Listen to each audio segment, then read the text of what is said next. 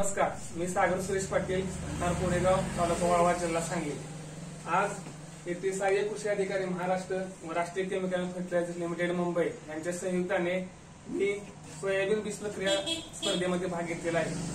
त्या ठिकाणी आपण सोयाबीन बीज प्रक्रियेसाठी मी आर्थिक कंपनीचं बायोला एक जीवाणू वापरत आहे. त्यामध्ये एन पी के तिन्ही प्रकारचे जीवाणू येत आहेत. नत्र फॉस्फरस आणि पोटॅश. त्यामुळे तुम्हाला दुसरी कोणतीही जीवन खतांची वेगळी बॉटल घ्यायची गरज नाही.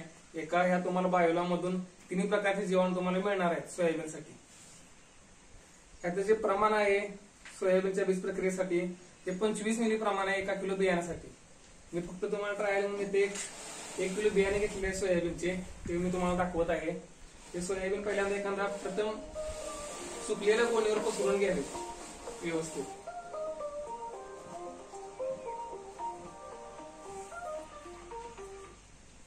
त्यानंतर मी बॉटल फोडून तुम्हाला दाखवत आहे कशी परत प्रक्रिया करायची. हे मी मापासाठी घेतलेलं आहे. एका एकरासाठी एका एक किलो बियासाठी पंचवीस एम एल या ठिकाणी पंचवीस एम एल घेत आहे बायूला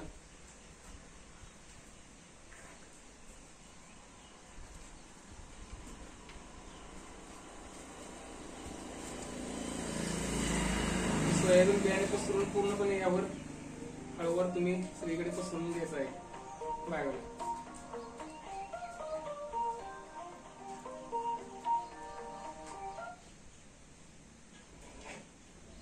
त्यानंतर एक काळजी घ्यायची आहे की आपण बायोला सोयाबीन च्या बियाणं ओतल्यानंतर हाताने अजिबात मिक्स करायचं नाही. कारण सोयाबीनचा सिडकोटा खूप हलका असतो. प्रोटीन्स प्रमाण जास्त असल्यामुळे.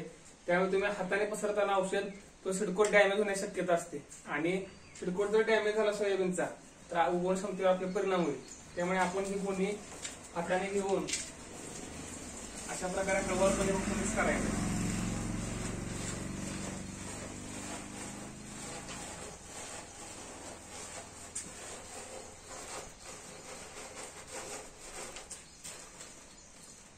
तुम्ही या ठिकाणी बघू शकताय युनिफॉर्म सगळ्या बियाणाला एकसारखा बायोला जीवन आपल्याला लागलेलं आहे. त्यानंतर मी हे बियाणे असंच सावलीमध्ये दोन तास सुकवत ठेवणार आहे. तर मला सांगायचा उद्देश हाच की बायोला बीज प्रक्रिया केल्यानंतर आपल्याला उगवण क्षमतेमध्ये शंभर टक्के परिणाम दिसून येणार आहे. तुटळा तुमच्या शेतामध्ये होणार नाही. जे काही तुम्ही सोयाबीन पेरणार आहे त्याचे शंभर टक्के उगवण होणार. तसेच बुरशी किंवा कीड लागून जे बियाणं खराब होणार आहे त्याची शक्यता कमी आहे. आणि पिकासाठी जी सोयाबीनला तर पुढे लागणार आहे नंतर फॉस्फरस पोटॅश उपलब्ध करून देणारे जीवाणू आपण केल्यामुळे त्याचा नक्कीच आपल्याला उत्पादनात फरक जाणवणार आहे. एवढं बोलून मी माहिती संपवतो धन्यवाद.